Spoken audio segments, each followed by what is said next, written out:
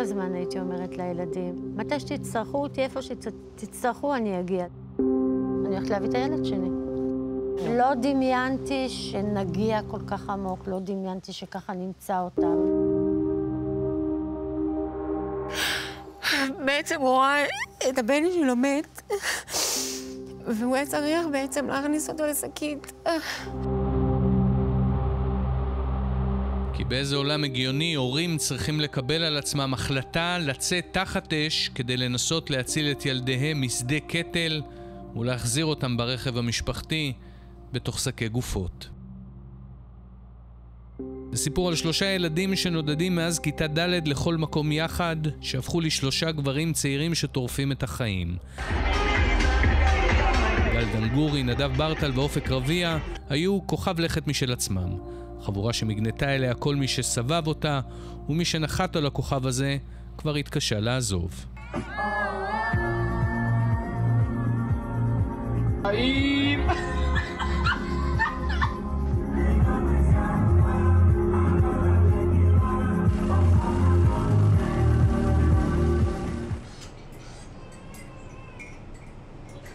שבת השחורה הגיעה כמעט שנה בדיוק אחרי שחזרו מהטיול הגדול בדרום אמריקה, וקבוצת הוואטסאפ של האימהות הפכה באחת לחמ"ל חירום.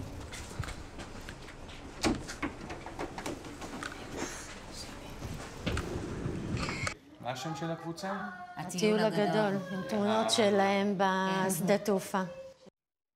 זה עד עכשיו השם של הקבוצה? כן, כן. אתמול בדיוק דיברנו על זה. דיברנו אם לשנות את השם. את השם, ואמרנו שלא. כי בהתחלה חשבתי הכאב הגדול, אבל אחר כך אמרנו... זה קשה מדי. אה, באיזשהו סוג של טיול אחר. ישראל נמצאת תחת אה, מתקפה, מתקפת אה, טרור משולבת מאז שעות הבוקר. בוקר קשה, מדינת ישראל נמצאת במלחמה. על אירוע מסיבת הטבע ליד... אין לנו מושג כל כך מה קרה איתם. עכשיו מתבצעות בשעות האחרונות קרבות קשים מול מחבלים. זה אחד המוקדים העיקריים בעוטף עזה.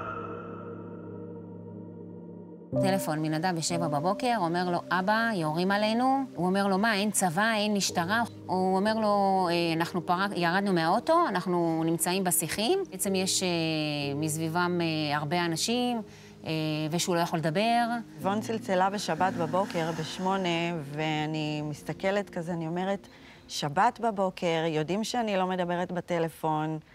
איבון מתקשרת אליי, הילדים ביחד, מה קרה? מתקשרת uh, לאופק, הוא לא עונה לי. הוא כותב לי, אמא, לא יכול לדבר, uh, יורים עלינו מכל כיוון, אנחנו מסתתרים, גנבו לי את האוטו, הוא שולח uh, נקודת ציון, והוא כותב, תדעו שאני אוהב אתכם אם אני לא אשרוד את זה. איך שקיבלנו את ההודעה בעצם, אני חובשת מתנדבת במד"א. הדבר הראשון שעשיתי זה הכנתי את המדים ואמרתי, אני נוסעת. כנראה בתת מודע הבנתי שהמדים יעזרו לי להתקדם איכשהו. התקשרתי לקב"ט היישוב, ואמרתי לו ששלושה ילדים מהיישוב נמצאים שם, ובואו נוציא רכב, נוציא אותם משם. בית אריה הוא יישוב קהילתי סמוך לשוהם, מרחק נסיעה של כמעט שעתיים מאזור המסיבה ברעים. והרכב הזה, ובו איבון דנגורי, אמו של גל, ודידי ברטל, אביו של נדב, מצליח להגיע לדרום עוד בטרם כוחות צה"ל התחילו לזרום למקום. איך אתם מצליחים לעבור את המחסומים, איבון, בעצם? כל עוד יכלנו לנסוע בכביש, נסענו בכבישים. במקומות שעצרו אותנו, אז ככה קצת ירדנו לשטח, עלינו, פשוט עברנו. ככל שהדרמנו, המראות מתחילים, אתה מתחיל לה... קצת ממש מעט להבין, אה, בדרך עוד היו אזעקות, נכנסנו למיגונית עם סיירת גבעתי, נדמה לי, הם אמרו לי. המפקד שלהם אמר לנו, תקשיבו, לאן אתם נוסעים? מה, כאילו כולם נוסעים החוצה, אנחנו פנימה. אמרנו לו, אנחנו הולכים להביא את הילדים שלנו. אז הוא אמר, ברור לכם שאני לא יכול לתת לכם לעבור. ואז דידי אמר לו, אין סיכוי, אנחנו נוסעים. הוא גם היה, אתה יודע. סגרנו את החלון, פשוט נסענו והמשכנו. אתה רואה פה רכב אחד שרוף, ופה רכב אחד שרוף עם גופה ליד, וגופה של מחבל. בשום שלב בתוך הרכב שלכם אין שיחה, חברים, אולי עדיף שנסתובב, נחזור, כי אנחנו נכנסים פה לאירוע? אפילו עד הסוף לא. וזה השלב שבו הדברים מתחילים להסתבך. פתאום אלו לא רק גופות ורכבים שרופים לצד הדרך, אלא מחבלים שפותחים עליהם באש. דלתות הממ"ד להגיף את החלונות. להימנע מלפתוח את הדלת לגורמים שאינם... איבון יושבת בתוך האוטו, מולה חיילי צה"ל מנהלים קרב עיקש. כשהוא ייגמר, היא תצא החוצה ותעניק טיפול לחיילים הפצועים. הגענו בעצם, היעד הבא היה כניסה ליער שהייתה בו את המסיבה. אני פתאום עמדתי ואני שומעת מוזיקה בערבית, טויוטה של המחבלים, עם מטול עליו, עם מלא כלי נשק על הרצפה. ממול כבר ראיתי שתי רכבים שמתחתם היו שתי ילדות, לא חיות. גופות, כל גופות. ובפעם הראשונה איבון ודידי מגיעים הכי קרוב שאפשר לילדים. לפני רגע שלושתם רקדו כאן, עכשיו זה שדה קטל של ממש. ובין עשרות הגופות שפזורות במסיבה, הם מתחילים לחפש את אופק, נדב וגל. ולרגע אחד, היה גם זיק של תקווה. אחד האוהלים הייתה רגל גדולה כזאת, גל שלי היה מטר תשעים ושתיים, ילד גדול, והייתה רגל עם הקעקוע באותו אזור שלו. רצתי לאוהל, וככל שהתקרבתי ראיתי שבעצם יש עוד קעקועים שלא היו לו, אז הבנתי שזה לא הוא. מפלסים. זה היה המיקום האחרון ששלחה השלישייה לפני שהפסיקה לענות. יש לידינו איזה 40 איש, דחוף, דחוף, הם מאבדים סבלנות. רק אחר הצהריים, אחרי שעות בדרכים, ההורים מצליחים סוף סוף להגיע לשדה בו הם הסתתרו. וכל השדה היה שרוף. ירדנו, התחלנו לחפש, ממש הלכנו בתוך... הכל, הכל שרוף, אבל לא חם, כאילו זה כבר הספיק אה, להתקרר. והתחלנו לחפש, דידי הלך לכיוון אחד, אני, אפי וברק הלכנו לכיוון אחר, ואז אחד התושבים ראה אותנו. אז הוא יצא והוא צועק לנו, מה אתם עושים פה? אמרנו לו, באנו לחפש את הילדים שלנו. אמר, מה, מהמסיבה? אמרנו לו, כן. הוא אמר, יש פה ארבעה ילדים שאספנו מהמסיבה. הייתי בטוחה שזה הם, בטוחה. אז אני צועקת לו את השמות. הוא נכנס, הוא יוצא, הוא אומר לי, לא, זה לא הם. ואז שנייה אחרי דידי צועק, מצאתי. וזהו.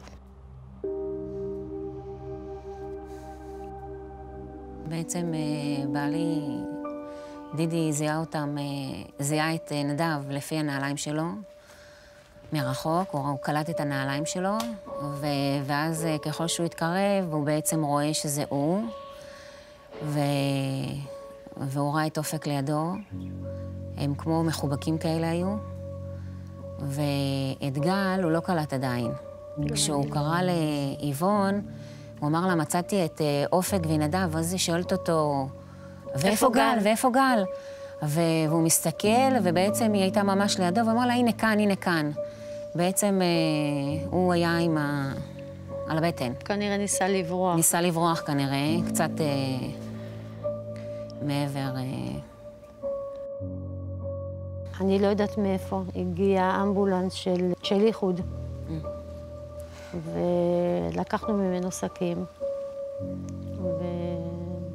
ומספו אותם בעצם לרכב שלנו, מאחורה. אתה, אתה יודע שבעצם הוא עבר...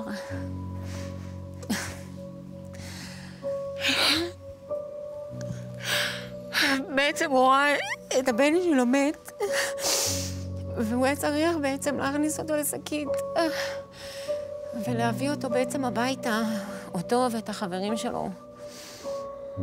לא, אני לא יכול להתחיל לדמיין בכלל את הנסיעה הזאת. אפשר לדמיין. ואת השקט בתוך האוטו. אי אפשר לדמיין. אי אפשר לדמיין. אני אשאל אותך שאלה שקצת קשה לי לשאול, אבל, אבל אין ברירה. את מתחרטת שעשית את הנסיעה הזאת?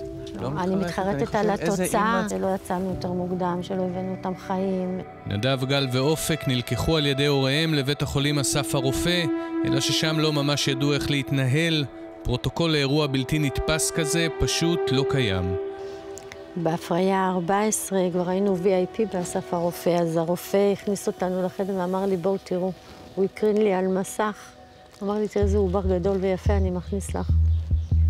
כל הזמן זה רץ לי בראש, התמונה של הנס הגדול הזה. והתמונה האחרונה, התחיל ונגמר הנס באסף הרופא. העם אמרו אמין, יש לומר רבה מן שמיא, חיים ושלווה וישועה ונחמה ושזפה ורפואה וגאולה. העובדה שהוריהם הצליחו להשיב אותם כבר ביום המסיבה, מנע מהם ימים ואולי שבועות של המתנה מורטת עצבים. השלושה היו הקורבנות הראשונים של השבעה באוקטובר, שובו לקבורה. בשבוע שעבר התקיים טקס השלושים ביישוב בית אריה שבו התגוררו.